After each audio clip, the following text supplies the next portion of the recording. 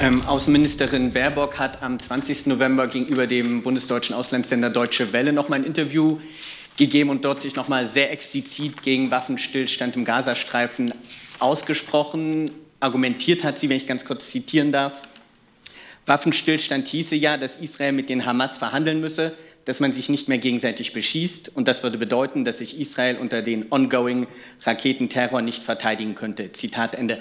Herr Wagner, können Sie mir erklären, was uns die Außenministerin damit vermitteln will und wenn sie wirklich so explizit und grundsätzlich gegen einen Waffenstillstand im Gazastreifen ist, eingedenk der fünfstelligen Zahlen an zivilen Toten, was ist denn das Alternativszenario zu einem Waffenstillstand aus Sicht des Auswärtigen Amtes? Also Herr Warbeck, das war ja schon öfter hier Thema, ähm, dass wir den Forderungen, die es ja von verschiedener Seite gab, auf einen dauerhaften Waffenstillstand die Frage entgegenstellen müssen, äh, was dann Israel gegen den andauernden Raketenbeschuss, den die Hamas ja weiterhin aus, aus Gaza ähm, vollzieht, ähm, tun soll. Israel hat das völkerrechtlich verbriefte Recht, sich gegen den, ähm, gegen den Angriff der Hamas zu wehren.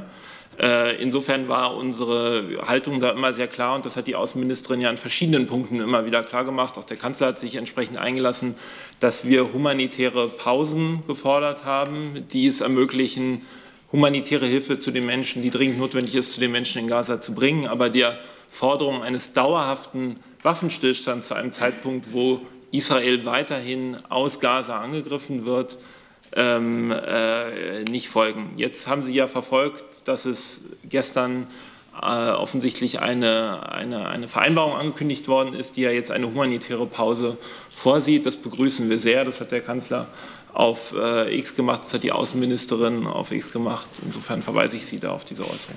Nachfrage? Ja, aber noch eine Verständnisfrage. Da sprechen wir jetzt von einer Waffenpause, die ja sehr völkerrechtlich eigentlich auch nicht wirklich gebunden ist. Aber ein Waffenstillstand hat ja weit mehr Implikationen und ist ja eigentlich die Grundvoraussetzung für einen Frieden zwischen zwei Konfliktparteien. Jetzt nochmal Hamas als nichtstaatlicher Akteur schwierig.